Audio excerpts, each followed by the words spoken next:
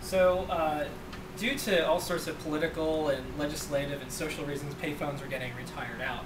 So uh, we picked up a payphone and we decided it'd be fun to do a project. Uh, this particular project does a few things. First, it turns a regular payphone into a home telephone. So you can have a payphone in your home. It's free. Just use it as a regular phone.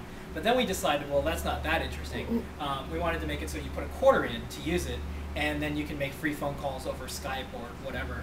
And then we decided, well, you know what would be even more interesting is there's something called a red box. These little devices um, were made in the or modified in the late 90s, and uh, what uh, a clever person did was figured out that you could change one of the uh, crystals inside here to make it make free phone calls. So when you would go up to a payphone and put it up to the payphone, it would make the same sound as coins being dropped in. It would make a beep beep beep beep sound.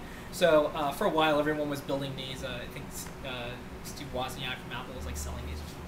Um, but what we decided to do was have a payphone in our home that you actually have to break into and redbox to use. So you pick up the, the receiver, you redbox it, and now you can use our phone. Or you can put a quarter in. So we'll see how much money we make when people come over and need to use the phone.